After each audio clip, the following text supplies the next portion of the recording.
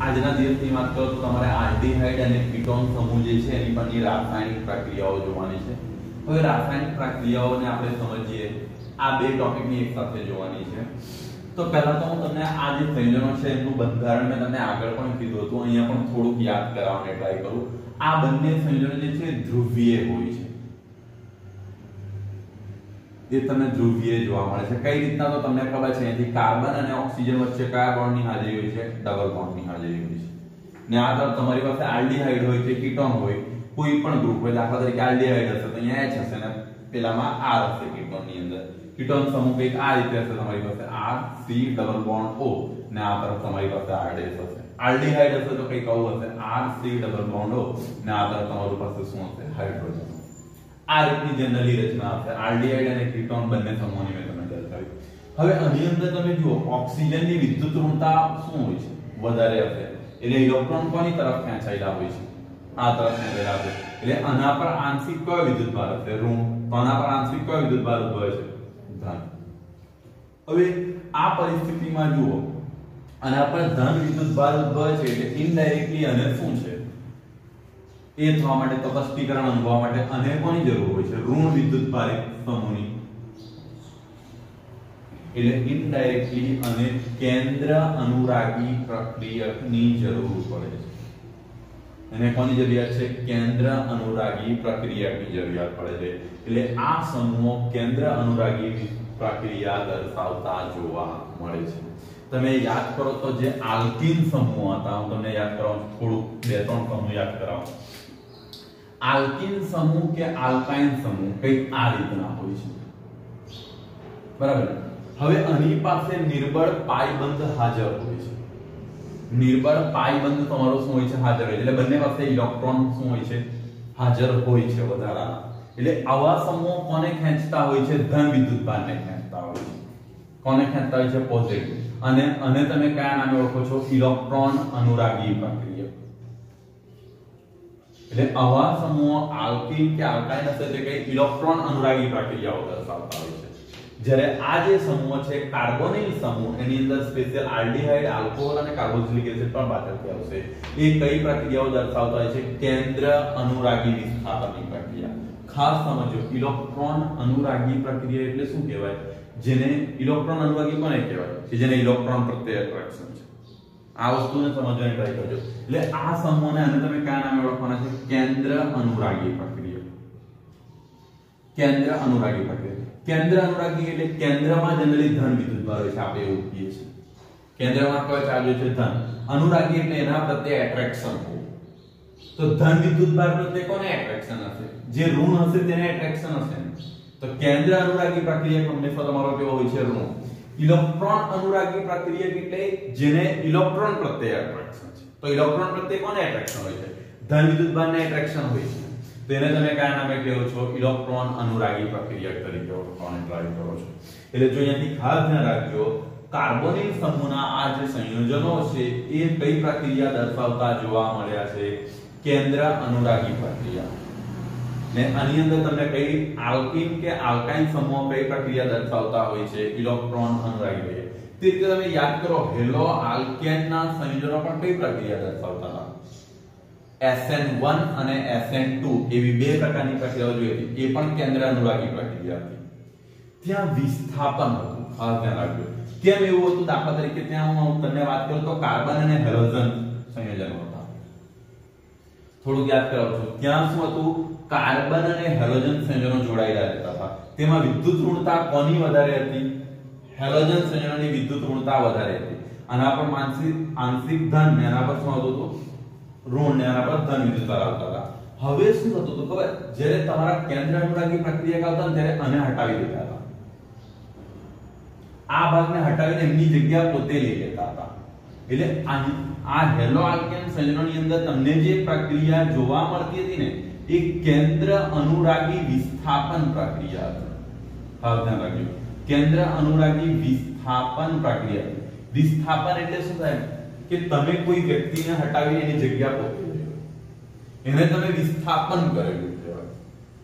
બરાબર ને? એટલે કોઈ પણ વ્યક્તિને તમે હટાવી દો ત્યાંથી અને એની જગ્યા તમે પોતે ગોઠવાઈ જાઓ, તો એ તમે શું કહેવાય? વિસ્થાપન કરેલું કહેવાય. એટલે હેલો આલ્કેનના જે સંયોજનો હતા, એ પણ કેન્દ્ર અનુરાગી પ્રક્રિયા દર્શાવતા હતા પણ એની પ્રક્રિયા કહેતી કેન્દ્ર અનુરાગી વિસ્થાપનની પ્રક્રિયા હતી.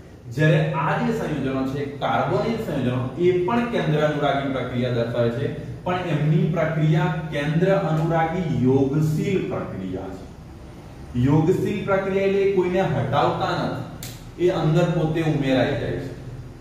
એ સંયોજનો શું થતા હોય છે? અંદર પોતે ઉમેરાઈ જાય છે. એટલે એનું ઉમેરણ થતું હોય છે. એટલે ખાસ ધ્યાન રાખજો વિસ્થાપનમાં હેલોઆલ્કેનના સંયોજનો પણ કેન્દ્ર અનુરાગી દર્શાવતા હતા. બટ એની પ્રક્રિયા કહેતી વિસ્થાપનની પ્રક્રિયા, જ્યારે આ જે કાર્બોનિલ સમૂહના સંયોજનો છે, કેન્દ્ર અનુરાગી યોગશીલ પ્રક્રિયા અનુભવતા હોય છે. હવે બેઝિકલી તમે જ્યારે આના રાસાયણિક ગુણધર્મોનો અભ્યાસ કરશો, તો તમારે કયા કોન્સેપ્ટનો અભ્યાસ કરવાનો હશે?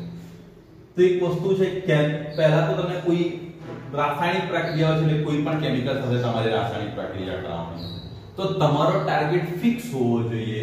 એની અંદરથી પહેલા તમે કેન્દ્ર અનુરાગી પ્રક્રિયકને શોધી પડો કેન્દ્ર અનુરાગી દાખલા તરીકે અહીંયા હાઇડ્રોસાયનાઇડ લઈ લેવાનું અહીંયાથી. તો એની અંદર તમને ખબર છે કોના પર ધન વિદ્યુતભાર હશે, કોના પર ઋણ? તો હાઇડ્રોજન કયો વિદ્યુતભાર ધન અને આ તો પ્રક્રિયા કોણ અનુભવશે? આ અનુભવશે કાર્બોનિલ એટલે બેઝિકલી તમારે હવે તમને એ પણ મેં પહેલેથી જ કહી દીધું કે આ સંયોજનો કઈ પ્રક્રિયા દર્શાવશે? યોગશીલ યોગશીલ એટલે અંદર જોડાઈ જશે અંદર જોડાઈ જાય તો સિમ્પલી વસ્તુ છે, આ બંધ તો સિગ્મા છે, એ તો તૂટવાના જ તો કયો બંધ તૂટશે? આ પાઈ બંધ તૂટશે. મીન્સ ઓક્સિજન કયો બંધ બનાવી દેશે સિંગલ બંધ બનાવી દેશે અને બીજા બંધ સાથે તમારું કેન્દ્ર અનુરાગી પ્રક્રિયા જોડાઈ ગયું છે.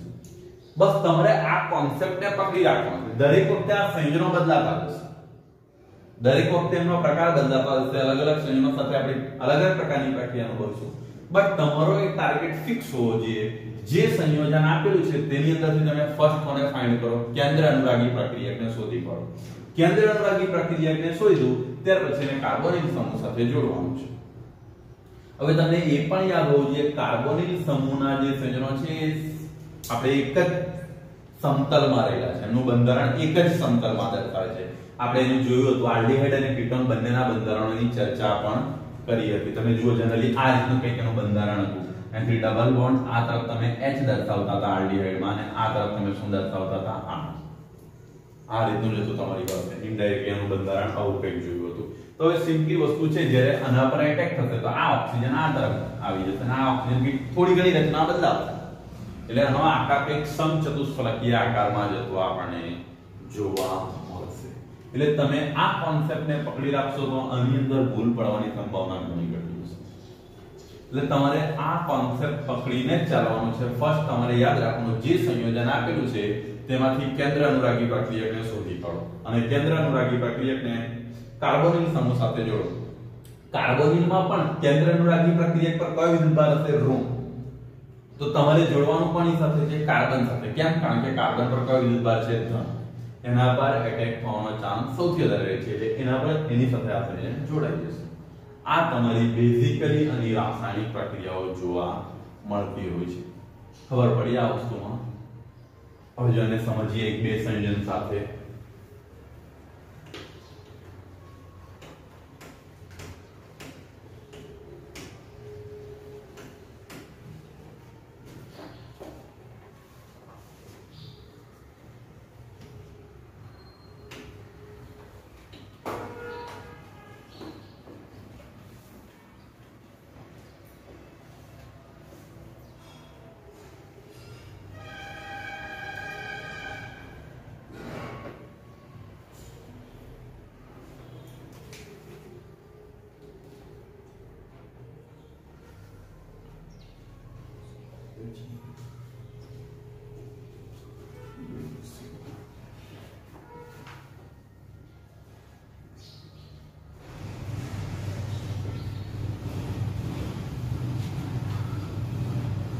ચલો, તમારી પાસે ટોપિક કેન્દ્ર, અનુરાગી પ્રક્રિયાઓ તો પહેલા આ સંયોજનોને આપણે જોવાની ટ્રાય કરીએ, કઈ રીતના આવશે? તો કાર્બનિક સંયોજનોની અંદર જનરલી આ રીતનું બંધારણ હશે.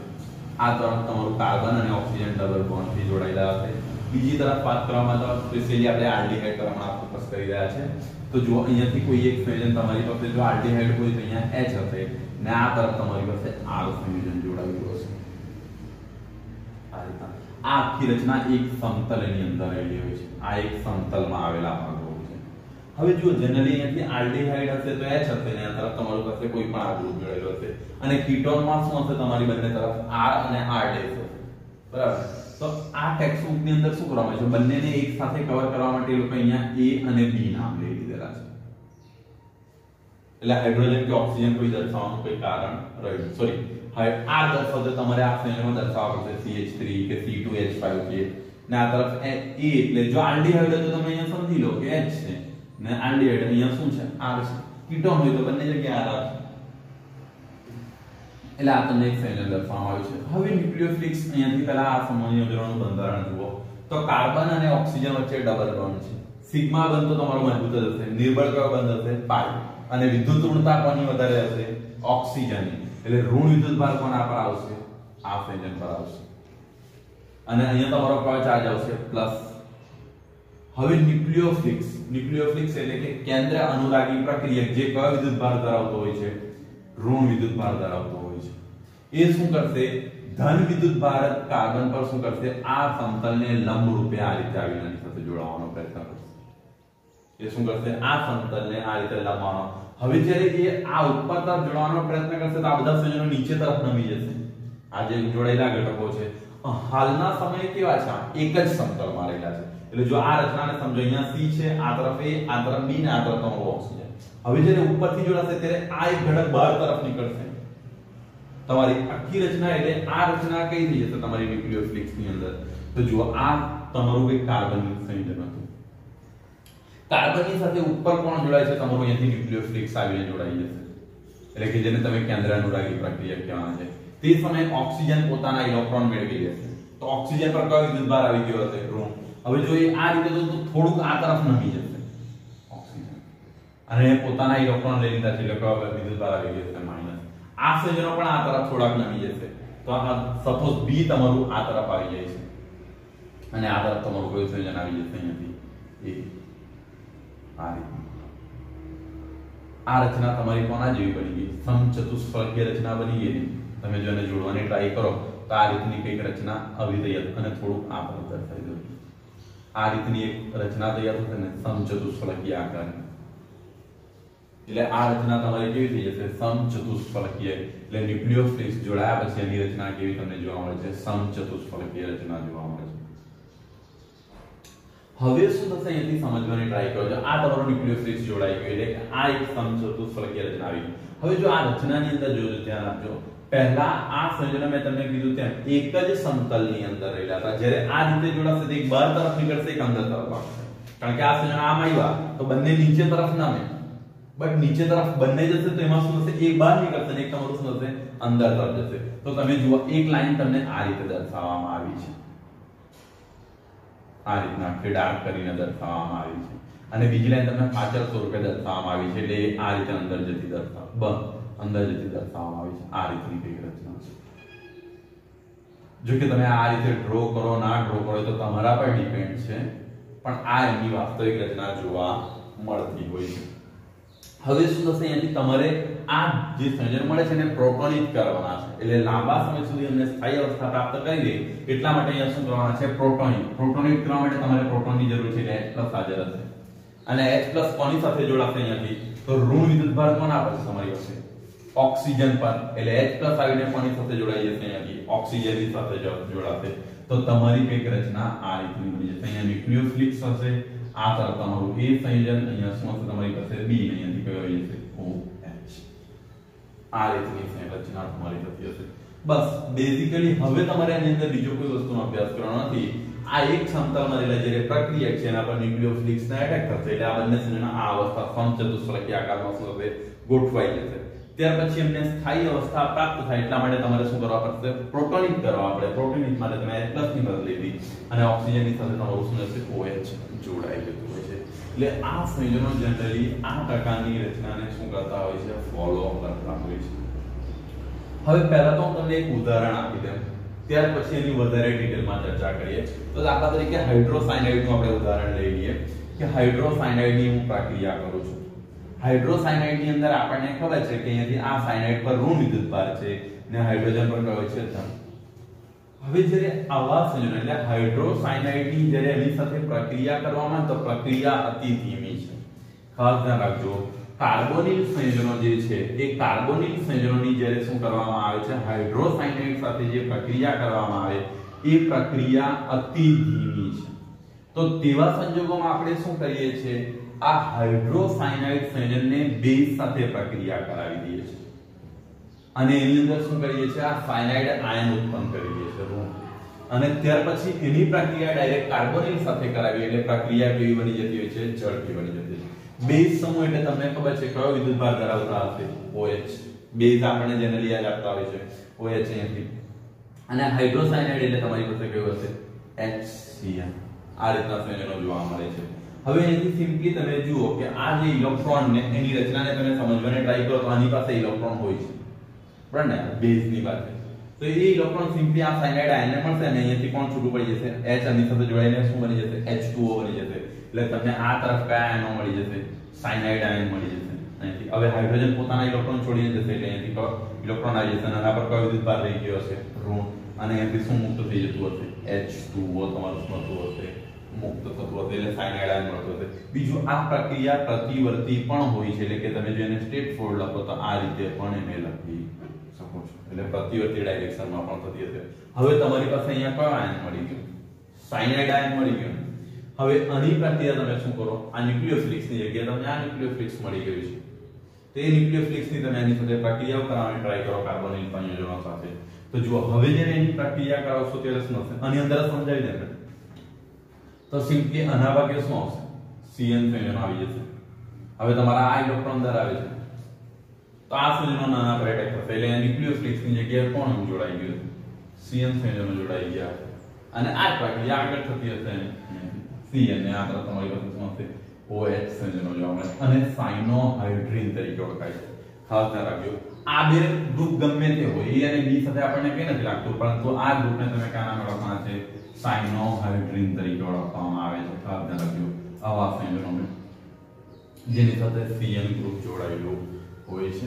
એટલે બેઝિકલી આ સંયોજનો આ રીતની તમને પ્રક્રિયા દર્શાવતા જોવા મળે છે. મેં તમને કીધું તેમ, કેન્દ્ર અનુરાગી પ્રક્રિયા બેઝિકલી આ જ મેથડ તમે જે ઓવર પહેલા સમજ્યા ને, એ પ્રક્રિયા તમને જોવા મળે છે. અહીંયા અલગ અલગ ખાલી આયન મેં તમને એક ઉદાહરણ દર્શાવ્યું હવે પ્રશ્ન એ ઊભો થાય છે કે આ જે સંયોજનો છે, કાર્બોનિલ સંયોજનો એક કેન્દ્ર અનુરાગી યોગશીલ પ્રક્રિયા દર્શાવે છે. તો એ પ્રક્રિયા કોના માટે વધારે ઝડપી છે? આલ્ડીહાઇડ માટે ઝડપી છે કે ક્યુટોન સમૂહ માટે? કે બંને માટે એક સમાન વેગથી ચાલે છે? તો એક અગત્યનો પ્રશ્ન ઉદ્ભવે છે. એનો જવાબ પહેલા આપણે મેળવીએ, કારણ કે એમસીક્યુ ની અંદર પૂછાય છે અને એની ટેક્સ્ટ બુકની અંદર પણ ચર્ચા કરવામાં આવી છે.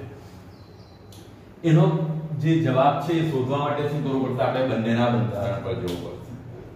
હવે બંનેના બંધારણ પર જઈએ તો બેઝિકલી તમે જુઓ, આલ્ડીહાઇડ સમૂહ એટલે તમારો કંઈક આ રીતનો સમૂહ હોય છે.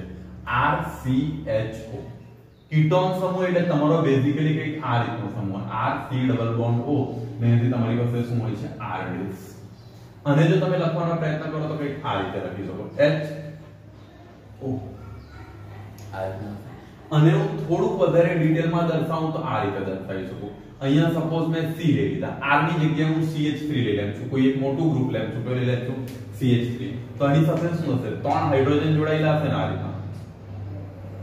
આ રીતના હશે ત્રણ હાઇડ્રોજન અને એથી તમારો કાર્બન અને ઓક્સિજન વચ્ચે કયો બોન્ડ હશે? ડબલ બોન્ડ હશે. ને આ પર તમારું શું જોડાયેલું હશે? હાઇડ્રોજન જોડાયેલું હશે. આ રીતના એક રચના જોવા મળશે ને?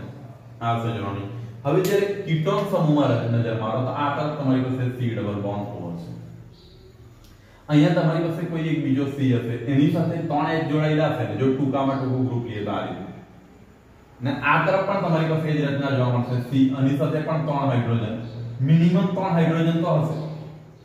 બરાબર ને? કદાચ એવું પણ બની શકે C2H5 કેવી રચના લીધી હશે તો વધારે કોમ્પ્લેક્સ મોટું ગ્રુપ બનશે. હવે તમે આમાં જુઓ. કયા કાર્બન વધારે ખુલ્લો તમને જોવા મળે છે? એટલે કોનો અવકાશી અવરોધ ઓછો છે? કે જેની આગળ પાછળ કોમ્પ્લેક્સિટી ઓછી છે. તો જો આ કાર્બન જે છે અહીંયા, આના પર આંશિક ધન વિદ્યુતભાર છે. આના પર ધન વિદ્યુતભાર છે. બરાબર? હવે જો આના આ તરફનો આખો વિસ્તાર જ ખુલ્લો છે. અને આ તરફની ગીચતા ઓછી છે. સિમ્પલી તમે જો અહીંયા એક હાઇડ્રોજન જ છે. જ્યારે આ તરફ તો તમે જો મેં આ લાઈન તમને એક મિનિટ કદાચ તમને અહીંયા ગીચતા વધારે લાગતી હશે. એનું કારણ એવું છે કે મેં આ લાઈન નાની ડ્રો કરી છે. આ તરફ મોટી છે એટલે તમને અહીંયા વધારે સ્પેસ દેખાતો હશે. વાસ્તવમાં આને આ નજીક નજીક દર્શાવી દો તો આ તરફ જો બંને તરફથી આખું એક ગીચતા વધી જશે અને ત્રણ ત્રણ હાઇડ્રોજન છે. એટલે આનામાં તમારો ડાયરેક્ટલી એટેક થવાનો ચાન્સ ઓછો છે. કેમ? કારણ કે એની આસપાસ અવકાશીય અવરોધ ઘણો બધો વધારે છે. આલ્ડીહાઇડની સરખામણીમાં કીટોનનો અવકાશી અવરોધ તમારો કેવો છે? વધારે છે. એટલે શું થશે? આલ્ડીહાઇડ પર તમારો ન્યુક્લિયોફિલિક્સ, એટલે કે કેન્દ્ર અનુરાગી પ્રક્રિયક સરળતાથી એટેક કરી શકે છે, હુમલો કરી શકે છે. જ્યારે કીટોન પર એને શું કરવું પડે? આ બંને ગ્રુપો વચ્ચે અવકાશી અવરોધને કારણે એને હુમલો કરવામાં શું થશે? સમય જાય છે. એટલા માટે શું થતું હોય છે? કીટોન પર આવી પ્રક્રિયાઓની અસર ધીમી માત્રામાં, એટલે ઓછી માત્રામાં આલ્ડીહાઇડની સરખામણી જેવી હોય છે. પ્રમાણમાં ઓછી એટલે એની પ્રતિક્રિયાત્મકતા કેવી જોવા મળે છે, ઓછી હોય છે. એટલે કોના પર એની ઇફેક્ટ વધારે હોય છે? આલ્ડીહાઇડ પર. એનું કારણ એક જ છે, બંને બંધ તો ધ્રુવીય છે. બંધમાં કોઈ ફેર નથી. ફેર શું આવ્યો અવકાશીય અવરોધનો આલ્ડીહાઇડ સમૂહનો અવકાશી અવરોધ ઓછો છે, જ્યારે કીટોન સમૂહનો અવકાશી અવરોધ તમને કેવો જોવા મળે છે? વધારે જોવા મળે છે. એટલે આ સમૂહની જે પ્રતિક્રિયાત્મકતાનો તમે ક્રમ જુઓ છો એ આલ્ડીહાઇડ પર વધારે છે, ત્યાર પછી તમારો કોણ આવે છે. કીટોન પર જોવા મળતું હોય છે.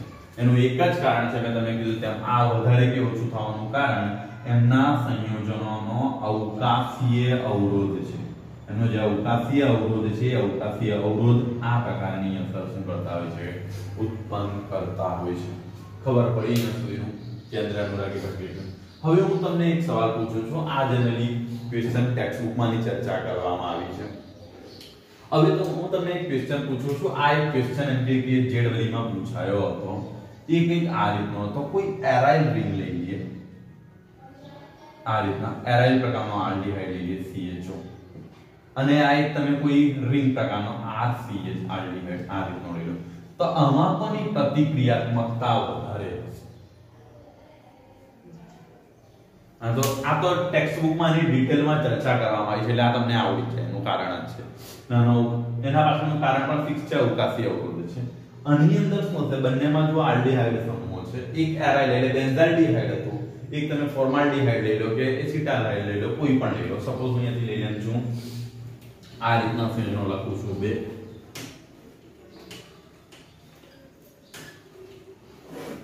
આ રીતના અહીંથી કોઈ એક બેન્ઝીન રિંગ લઈ લઈએ આપણે. તમારી પાસે CHO આ રીતની રચના બરાબર અને બીજું તમારી પાસે અહીંથી લઈ લઉં છું CH3CHO આ બેમાંથી કોની પ્રતિક્રિયાત્મકતા વધારે હશે યોગશીલ કેન્દ્ર અનુરાગી યોગશીલ પ્રક્રિયા માટે કારણથી બોલો જો કેન્દ્ર અનુરાગી પ્રક્રિયા બેઝિકલી શું છે? મેં તમને કીધું તેમ કાર્બન પર ધન વિદ્યુત ભાર આવી ગયો. એટલે એને જરૂર કોને છે? ઋણની જરૂર છે. એટલે ન્યુક્લિયોફિલિક્સ એટલે કે કેન્દ્ર અનુરાગી પ્રક્રિયા આવીને એના પર હુમલો કરીને એની એ જરૂરિયાત પૂર્ણ કરે છે. સિમ્પલી આ જ કોન્સેપ્ટ છે. જો નામ બોલાય છે તેના કરતા જો તમે આ સમજવા જાઓ તો અલગ આખી વસ્તુ જ અલગ છે. કેન્દ્ર અનુરાગી એટલે જેને ઇલેક્ટ્રોન, કેન્દ્ર એટલે ધન વિદ્યુતભારની જરૂર છે. એ જ થયો ને બેઝિકલી એનો મતલબ એ થયો એટલે ઋણ વિદ્યુતભાર થવો જોઈએ. એટલે હુમલો કરનાર ઘટક ઋણ છે. પણ એ જેના પર હુમલો કરશે તે કેવો હશે? ધન. જો તમે આના સંદર્ભમાં સમજો, તો આને કોની જરૂર છે? ઋણની જરૂર છે. આ સંયોજનના સંદર્ભમાં સમજો તો. હવે જુઓ, આ બંને સંયોજનોને તમે સમજવાની ટ્રાય કરો. આ જ્યારે એટેક થાય છે, જેમ ધન વિદ્યુત વિદ્યુતભારની વેલ્યુ વધારે હશે, તેમ હુમલો શું થશે? વધારે પ્રબળતાથી થશે. સીધી વસ્તુ છે? ન્યુક્લિયોફ્લિક્સ આવીને એટેક કરવાનો છે. કોના લીધે એટ્રેક્શન થયેલું છે? વિદ્યુત ભારોના લીધે થયેલું છે. તો આનો ધન વિદ્યુત ભાર જેમ વધારે માત્રામાં હશે તેમ ન્યુક્લિયોફ્લિક્સનો એટેક પણ એટલો જ પ્રબળ હશે આથી. હવે જુઓ, આ કાર્બનને બેઝિકલી એને કેમ આને ન્યુક્લિયોફિલિક્સને પોતાના પર હુમલો કરવા દીધો? ઓક્સિજન પર તો નહીં થયો. એનું કારણ તો કે એને ધન વિદ્યુત ભાર મેળવી લીધો. ધન વિદ્યુત ભાર મેળવી લીધો તો તો એને કોની જરૂર છે? ઋણ વિદ્યુત ભારની જરૂર. હવે જો એક વસ્તુ છે, જો ઋણ વિદ્યુતભાર એને એના ઘરમાંથી જ મળી જશે, તો એ બીજી વ્યક્તિને હુમલો કરવા દેશે. સમજવાની ટ્રાય કરો. તમને કોઈ વસ્તુની જરૂરિયાત છે અને તમારા ઘરમાંથી જ પૂર્ણ થઈ જતી હોય, તો તમે બીજી કોઈ વ્યક્તિની મદદ લેશો? નહીં લેશો. ઘરમાંથી ક્યારે મળી શકે મદદ? જો ઘરમાં વસ્તુ હશે તો મળશે ને. તમને જે વસ્તુની જરૂરિયાત છે ઘરમાં હશે તો તમને મદદ મળશે. કોઈ પણ વસ્તુની. તો હવે આ કેસમાં તમે સમજવાની ટ્રાય કરો. આલ્ડીહાઇડ સમૂહમાં બેઝિકલી આ રચના તમારી જોવા મળશે. આલ્ડીહાઇડ આના પર આંશિક ધન હશે, આના પર આંશિક ઋણ વિદ્યુતભાર હશે. અને ઇલેક્ટ્રોનની જરૂર છે. હવે તમે બેન્ઝીન રિંગમાં ધ્યાન આપો ઓલરેડી નિર્બળ પાઈ બંધ આવેલા છે. અને બેન્ઝીન રિંગ રેઝોનન્સ સ્ટ્રક્ચર ધરાવે છે. એટલે આ પાઈ બંધ અહીંયા શિફ્ટ થશે. હું બધા સ્ટ્રક્ચર ડ્રો નથી કરતો. આપણે ઘણી વખત ડ્રો કરેલા છે. ઇલેક્ટ્રોન આમ શિફ્ટ થાય આ બધા વિદ્યુતભાર એ આખી રચના તમને ખબર છે. તો આને બેઝિકલી ઇલેક્ટ્રોન પહેલા એના ક્યાંથી પૂર્ણ થઈ જતા હશે? આ તરફથી મળી જતા હતા ને? બેન્ઝીન રિંગ જ એને કાર્બન ઇલેક્ટ્રોન સપ્લાય કરી દેતી હશે. રેઝોનન્સ સ્ટ્રક્ચર ને કારણે. કારણ કે તમને ખબર છે, આ પાઈ બંધ એક સમયે જ્યારે રોટેશન થતા થતા કંઈક આવી પોઝિશન પણ આવી જાય છે. તમને ખબર છે, આ બંધો પોતાના સ્થાન ચેન્જ કરી દેતા હોય છે.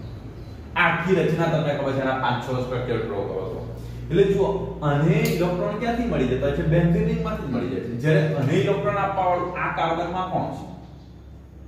આ રચનાને તમે સમજો, H. અહીંયાથી CH3 એ તો કોઈ ઇલેક્ટ્રોન સપ્લાય કરવાના નથી. આમાંથી કોઈ ઇલેક્ટ્રોન નહીં આપી શકે. એટલે કમ્પલસરી એના પર તો ન્યુક્લિયોફિલિક આવવાનું છે તો વધારે અસર જો, અને પણ જરૂર તો છે. રેઝોનન્સને કારણે કઈ કાયમી ધોરણે નથી મળી